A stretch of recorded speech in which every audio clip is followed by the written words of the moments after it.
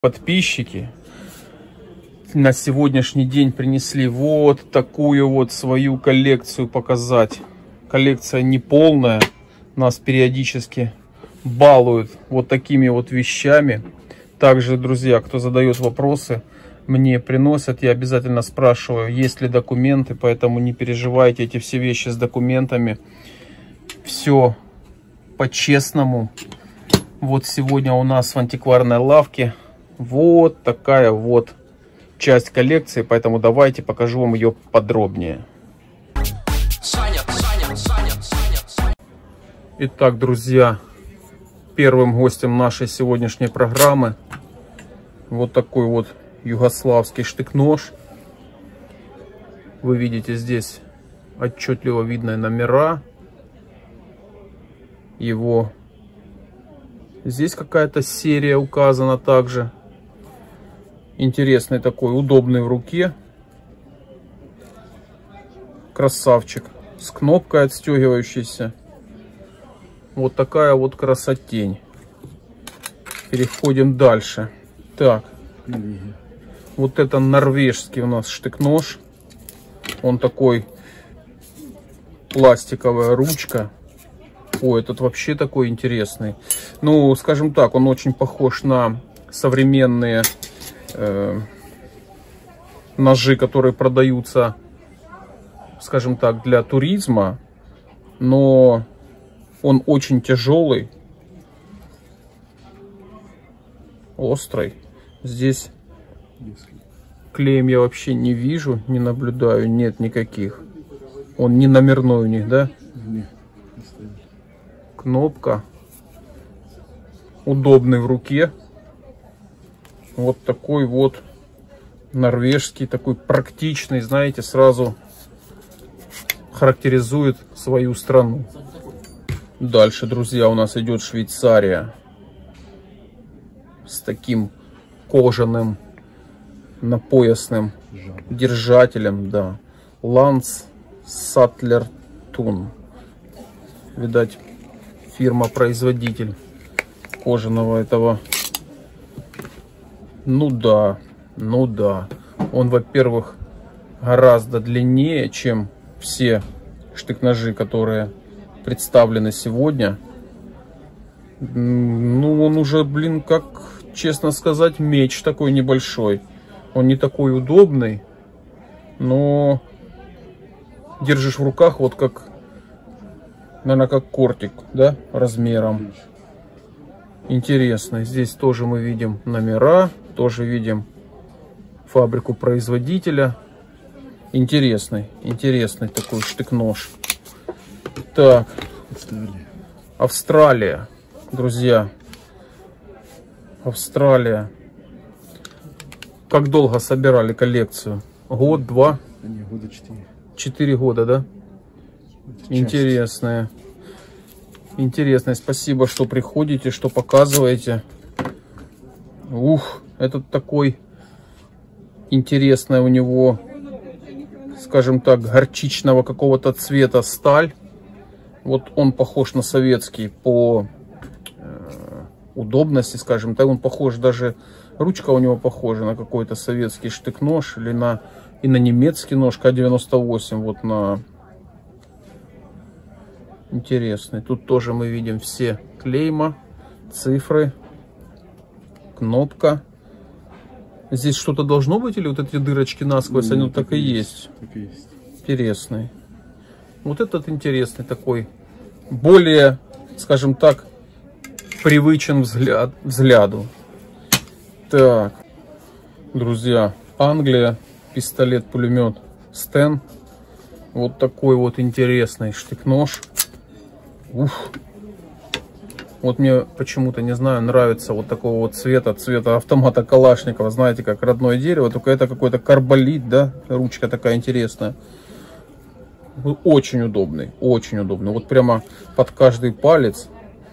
Короче, особенность, ребята, вот этого штык-ножа, что он, в отличие от других, не просто цепляется к стволу, а у этого вот таким образом раз перекручивается и вот сюда цепляется на ствол. Видите, вот таким образом, целая система. Очень интересная вещь. Супер, супер. Первый раз держу его в руках. Я видел его, э, продавали на каких-то торгах, если не ошибаюсь, на Виолете. Похожее. Здесь также мы видим на лезвии клейма. Такое интересное ребро жесткости. Прямо здесь толщина нереальная. Здесь она сужается. Очень интересная вещь. Супер. Да, держишь прямо История. историю. Ну, это, Это УЗИ. Вот это интересный. Ребята, на УЗИ тоже был свой штык-нож. Вот такая вот чумачечая история. Вы видите, он черный такой. Класс. Здесь нет никаких опознавательных знаков, ни номеров, ничего. Вот так вот, ребята, наши детские фильмы. УЗИ. И оказывается, на УЗИ был свой штык-нож. Класс. Вот эту вещь первый раз держу в руках. Сильно дорогая, если не секрет. Ну, В районе 300 долларов. 300 долларов, да, примерно. Да, Испанский такой, зеленый.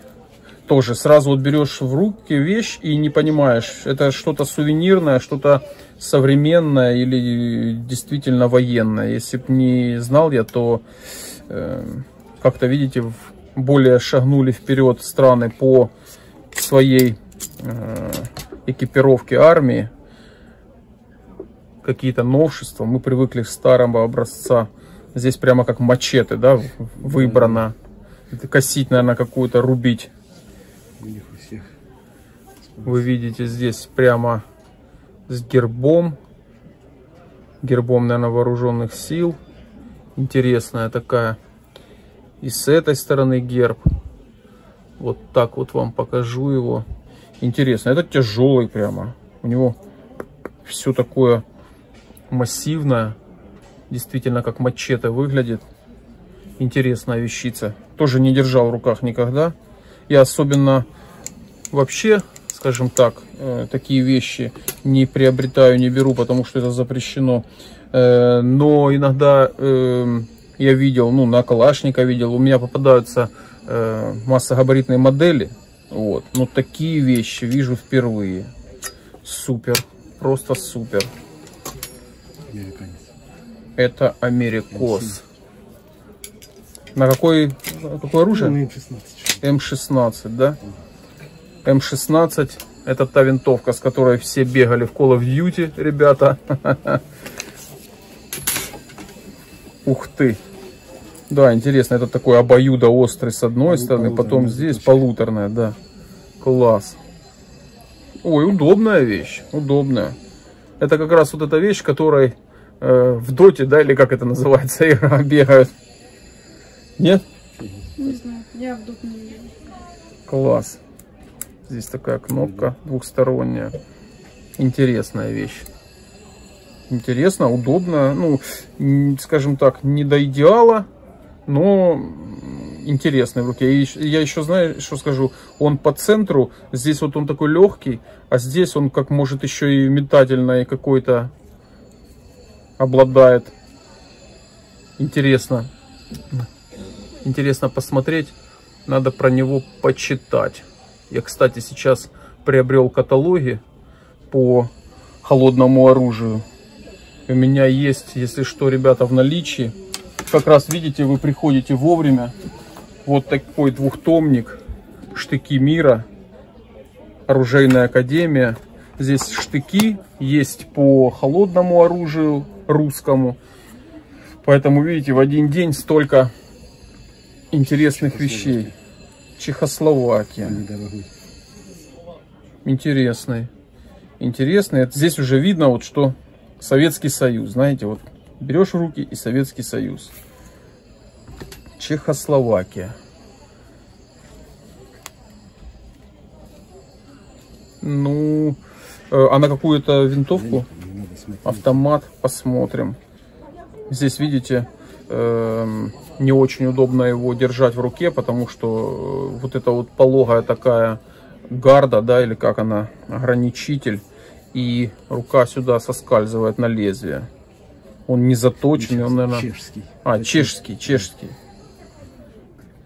ЧЗ-58 автомат. Автомат ЧЗ-58. Тоже такая кнопка интересная у него.